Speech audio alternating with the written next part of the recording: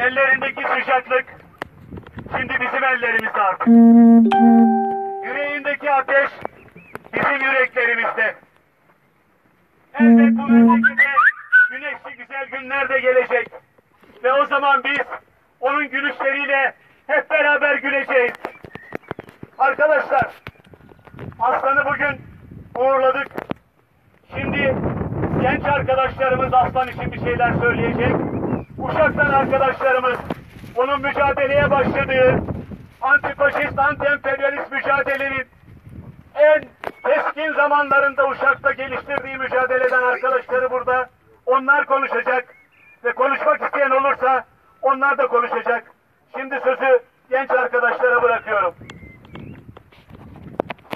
Abi bir oradan çekipsiniz. Biz çek, yayın yapıyoruz. Aslan abiyi ya burada nasıl kısaca anlatılır, nasıl bahsedilir bilemiyorum. Tanıdığımız en yiğit, en mert, en net, aslan gibi devrimci dediğimiz Aslan abimiz için buradayız. Aslan abi Cemal Hoca bahsetti. Devrimci gençleri çok severdi. Onun için devrimci gençler çok kıymetliydi. Devrimci gençlere çok güvenirdi. Asla bu konuda tanısın tanımasın tüm gençlerin yanındaydı. Bizlere çok şeyler öğretti. Bizlere bu hayatta, bu yolculukta nasıl yürüyeceğimizi öğretti. Tecrübeleri, yaşadıkları sadece geçmişe dair değildi. Evet, biz Aslan abinin yol arkadaşlarıyız. Genç yol arkadaşlarıyız. Biz Aslan abiyle siyasete başladığımız, devrimcilik yapacağımız dediğimiz noktalarda Aslan abi hep yanımızda oldu. Tüm mücadele boyunca e, Aslan abiyi bir şekilde yanımızda, arkamızda, eli omzumuzda hissettik.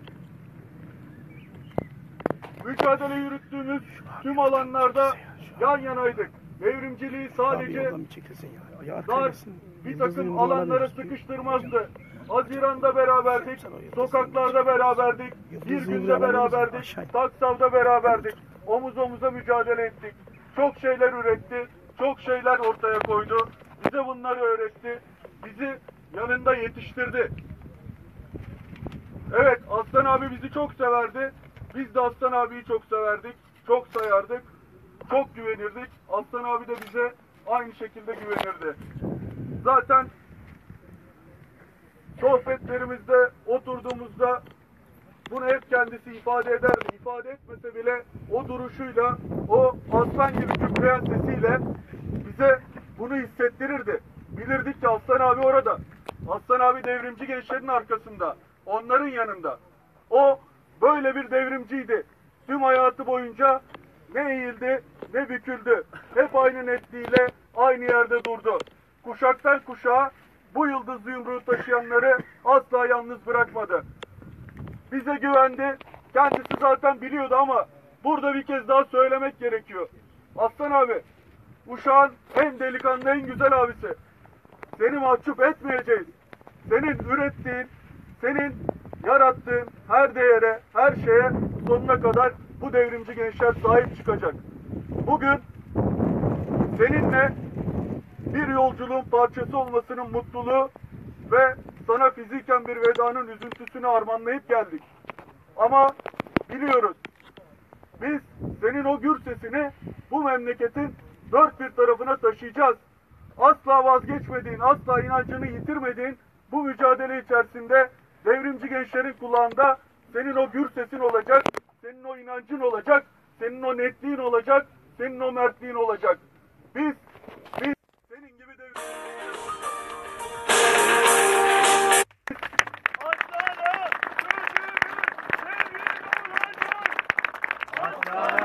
Sözümüz devrim olacak. Aslana sözümüz devrim olacak. Aslan Yalçın Uşak'ta tartışmalar düzenleyerek, dergi satarak, yazılama yaparak dev gencin büyütülmesinde çok önemli katkıları olan bir arkadaşımız. Devrimci yolun birinci sayısında çıkan kapak konusu olan Uşak eylemleri Uşak'taki devrimci yolun eşik atlamasına neden olan bu eylemlerde Aslan Yalçın'ın yine önemli görevler üstlendiği ve o direnişleri yönettiği, yönlendirdiği bütün uşaklar açısından önemli bir meseledir. Aslan sadece dev gençler Uşak'taki bütün devrimciler, demokratlar için önemli bir, isim, bir isimdi. Onu dev gençliler, devrimci yolcular nasıl severse bizim dışımızdaki tüm siyasetlerde aynı sevgiyle, aynı hoşgörüyle kucaklarlardı. Aslan Yalçın devrimciliğin bütün sınavlarında boyun eğmeden dimdik çıkan bir arkadaşımızdı. Emniyet sürecinde de cezaevlerinde de birlikteydik. Şimdi Aslan'ın gülen resmini görünce onunla ilgili bir anı aklıma geldi. Sizlere onu aktaracağım. Devrimci yol döneminde Ankara'dan 1500 dergi getirmiştim Uşak'a. Uşak'ta garaj faşistlerin elindeydi. Faşistler ihbar etti. Emniyet geldi, polisler benim elimden dergileri aldı, karakola götürdüler. O gece geceledik emniyette, sabah savcılığa götürdüler. Savcı da dedi ki sana öyle bir ceza vereceğim ki şimdi, hiçbir zaman bu işi bir daha yapmayacaksın dedi. Ne yapacağız dedim. Adliyenin bahçesine dergileri yığdırmış, beni de oraya götürdü. Şimdi bu dergileri beraber yakacağız dedi. Ve dergileri yaktık savcıyla beraber. Daha sonra sabah erken Töpler'e gelirdi aslan. Gittim tek başına Töpler'de oturuyor. Geldi mi dergiler dedi. Geldi ama yandı dedim. Nasıl yani dedi. Bir tanesini bile alamadın mı dedi. Ben de olayı anlatınca kahkahalarla gülmeye başladı. Ondan sonra her gelen arkadaşa bunu anlatarak akşama kadar aslan gülmüştü bu olaya. Hepinize teşekkür ederim.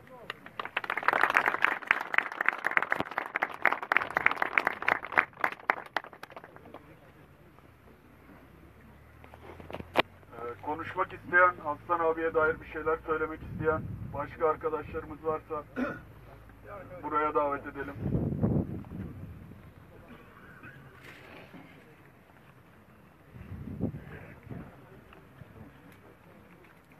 Dostlar ben Aslan'la Ben Aslan'la 10 yılı aşkın aynı ajansı paylaştım. Bana kucak açtı. Ee, reklamcılık boyutunu çok kısaca söylemek istersem devrimciliğini nasıl biliyorsanız Aslan'ın reklamcılığı da öyleydi. Ve haklı bir yer kazandı İzmir sektöründe. Ama ben daha öteye geçmek istiyorum. Başımız sağ olsun diyoruz. Peki sağ olsun. Ama ben diyorum ki başımız dik olsun. Aslan demin de söylendiği gibi hep dik yaşadı. Kapitalist emperyalist düzen onu elimizden alana kadar dikti. Dolayısıyla da o dikliğini hiçbir zaman baş eğme noktasına getirmedi. Baş eğdi. Bir tek kere benim tanıklığım. O baş eğme iki güzel insanla taçlandı. Nehirle taçlandı, Tülin'le taçlandı. Ki daha önce de Onurcan gibi bir güzel oğlum ve çok eski arkadaşım tiyatrodan eski eşi Serap da o değerler arasındaydı. Ben başımız sağ olsun diyorum ama Aslan'ı başımız dik olarak uğurlayalım diye içimden geçiyor. Ve son olarak da ona çok söylemiştim. Bir türlü kabul ettiremedim. Ama artık görev bizde galiba. Aslan'la ilgili bir belgesel yapmamız gerekiyor. Bu konuda ben taşın altına elimi koyuyorum. Benimle beraber kim koymak isterse de bekliyorum. Güle güle Aslan. Güle güle.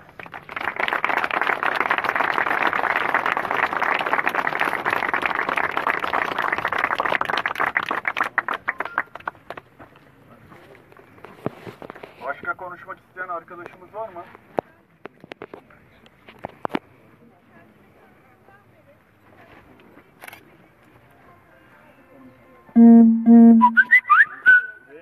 Gelsin, buraya gelsin. Buraya alabilir miyiz?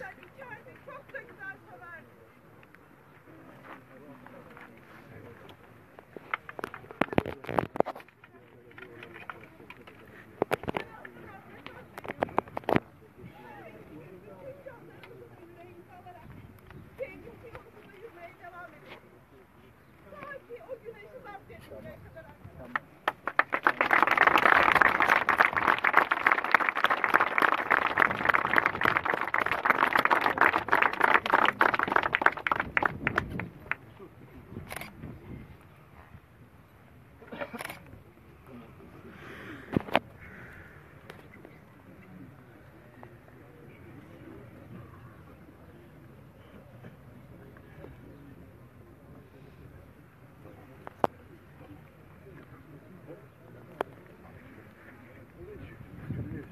Aslan devrimci yolumuzda yaşıyor.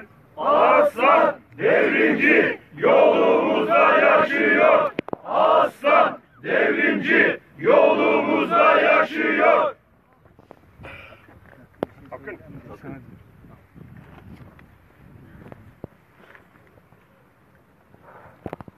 Törenimizi burada bitiriyoruz arkadaşlar. Son kez bütün aileye bu direnişinde Aslan'ın yanında bütün ailesi dimdik durdu. Hepsine ayrı ayrı teşekkür etmemiz gerekiyor. Bir de Doktor Mustafa var. Ona hepinizin huzurunda Aslan için teşekkür ediyorum. Sağ olun.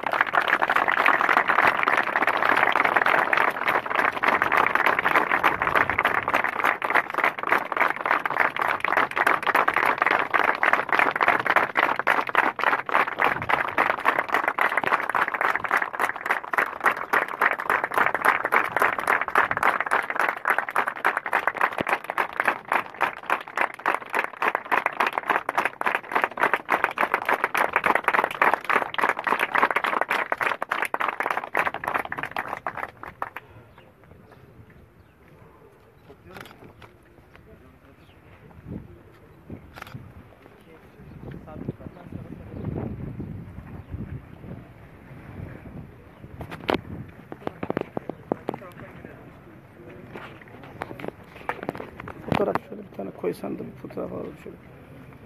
Fotoğraf alalım şöyle koyalım.